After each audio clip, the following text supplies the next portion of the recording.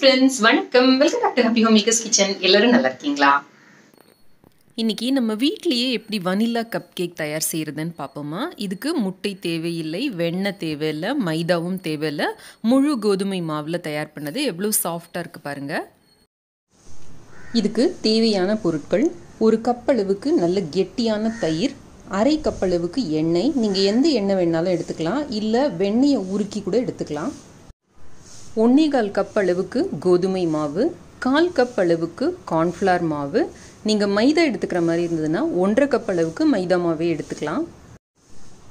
முக்கால் கப் அளவுக்கு சர்க்கரை. நான் இங்கே ஆர்கானிக் சர்க்கரை எடுத்திருக்கேன். கால் டீஸ்பூன் வனிலா எக்ஸ்ட்ராக்ட் நான் இங்கே வந்து வனிலா பவுடர் எடுத்திருக்கேன். இதோ இந்த பவுடர் தான் எடுத்திருக்கேன். நீங்கள் இதுக்கு பதில் வனிலா எக்ஸ்ட்ராக்டோ இல்லை வனிலா எசன்ஸோ கூட யூஸ் பண்ணிக்கலாம். ஒரு சிட்டிகை அளவுக்கு உப்பு ஒன்றே டீஸ்பூன் அளவுக்கு பேக்கிங் பவுடர் அரை டீஸ்பூன் அளவுக்கு பேக்கிங் சோடா. முதல்ல ஒரு மிக்சிங் பவுலில் தயிரை கலந்துக்கோங்க. தயிர் நல்ல கெட்டியாக இருக்க வேண்டியது அவசியம். அப்படி உங்ககிட்ட தயிர் வந்து கொஞ்சம் தண்ணியாக இருந்தது அப்படின்னா கொஞ்சம் நேரம் ஒரு வடிகட்டியில் போட்டு வச்சிங்க அப்படின்னா நல்லா அந்த தண்ணி எல்லாம் இறங்கிடும். மேலே இருக்கிற அந்த திக்கான கர்டை எடுத்துக்கோங்க. அப்போ தான் இந்த ரெசிபிக்கு வந்து கரெக்டாக இருக்கும். இப்போ இது நல்லா விஸ்க் பண்ணிக்கோங்க. இதை நல்லா இப்படி விஸ்க் பண்ணிக்கிட்டு இதோட நம்ம எடுத்து வச்சுருக்கிற சர்க்கரையை போட்டு இப்போ அதை நல்லா சர்க்கரை கரையிற வரைக்கும் அடிச்சுக்கலாம். சர்க்கரை இந்த மாதிரி நல்லா கரைஞ்ச உடனே இதில் நம்ம எடுத்து வச்சுருக்கிற எண்ணெயை சேர்த்துக்கலாம். இதோட இந்த உப்பையும் சேர்த்துக்கோங்க. இதுவும் நல்லா கரையட்டும். இப்போ இந்த பேக்கிங் பவுடர் பேக்கிங் சோடா இந்த வனிலா பவுடர் எல்லாத்தையும் கலந்துடுறேன். இதையும் கலந்து நல்லா மிக்ஸ் பண்ணிக்கலாம். பேக்கிங் பவுடர் பேக்கிங் சோடாலாம் கலந்தோடனே இந்த எண்ணெயும் தயிரும் நல்லா ஒன்றா கலந்துருக்கிறத பாருங்கள் லேசாக நுரையும் வர ஆரம்பிக்குது. நான் ஏற்கனவே சலிச்சு வச்ச கோதுமை மாவு தான். இன்னும் ஒரு தடவை சலிச்சு ஆட் பண்ணோம் அப்படின்னா நம்மளோட கேக்கோ இல்லை கப் கேக்கோ எதாக இருந்தாலும் நல்ல ஃப்ளஃபியாக வரும். இப்போ இதை வந்து இதில் சலிச்சு ஆட் பண்ணிக்கலாம். இப்போ இதோட இந்த கார்ன்ஃப்ளவர் மாவையும் சேர்த்துக்கிறேன்.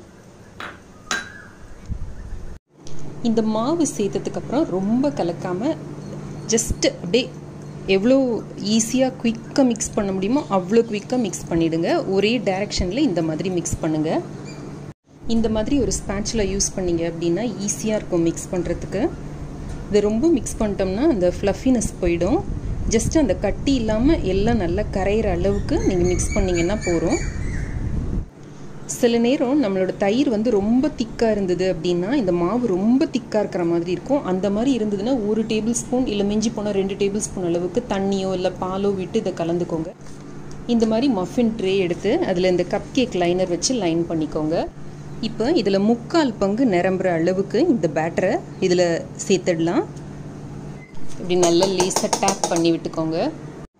அவனை நான் ஒன் எயிட்டி டிகிரி சென்டிகிரேட்க்கு ஆல்ரெடி ப்ரீ ஹீட் பண்ணியிருக்கேன் இப்போ இதுக்குள்ளார இதை வச்சிடலாம். வச்சுட்டு பத்துலேருந்து பதினஞ்சு நிமிஷம் ஆகும். பன்னெண்டு நிமிஷத்துக்கு அப்புறத்துலேருந்து ஒரு தடவை திறந்து பார்த்தோம். ஒரு டூத்பிக் வச்சு குத்தி பார்த்தோம் அப்படின்னா நமக்கு வெந்துடுச்சா என்னன்னு தெரியும்.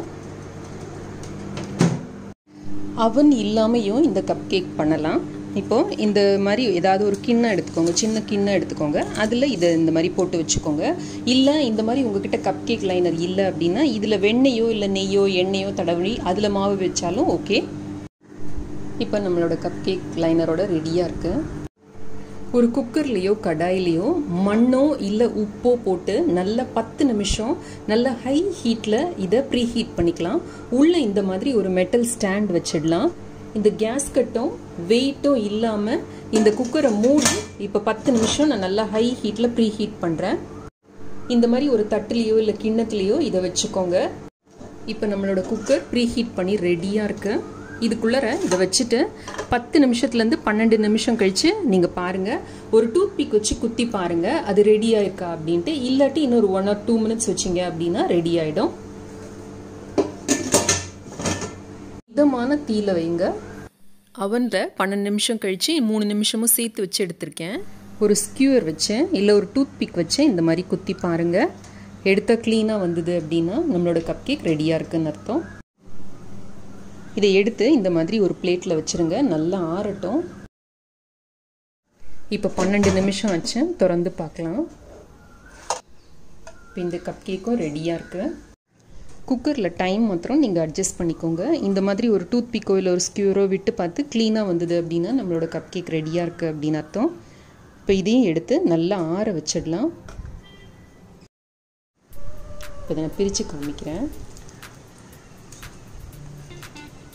கொஞ்சம் சூடு ஆறுனதுக்கப்புறம் பிரிச்சிங்க அப்படின்னா இந்த மாதிரி வராமல் நல்லா வரும். பட் ஸ்டில் இப்போ பார்த்து பாருங்கள் எவ்வளோ ஸ்பாஞ்சியாக இருக்குது அப்படின்ட்டு நான் பிட்டு காமிக்கிறேன்.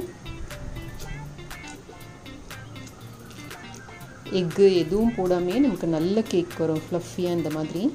வீடியோ உங்களுக்கு ரொம்ப பிடிச்சிருக்கும்னு நினைக்கிறேன். பயனுள்ளதாகவும் இருக்கும்னு நினைக்கிறேன். அவசியம் இதை ட்ரை செய்து பாருங்க. ட்ரை செய்து பார்த்து எனக்கு உங்களோட கமெண்ட்ஸையும் ஃபீட்பேக்கையும் கீழே இருக்கிற கமெண்ட் செக்ஷன்ல எழுதி அனுப்புங்க. இந்த வீடியோ பிடிச்சிருந்ததுன்னா லைக் பண்ணுங்க. நம்ம சேனலுக்கு சப்ஸ்கிரைப் பண்ணி. ஹாப்பி ஹோம் மேக்கர் குடும்பத்தில் ஒரு அங்கத்தினராக சேர்ந்துருங்க. இணைந்திருங்கள். ஹாப்பி ஹோம் மேக்கருடன் என்னாலும் நன்றி. வணக்கம். ஆரோக்கியமான சமையல் ஆனந்தமான வாழ்க்கை.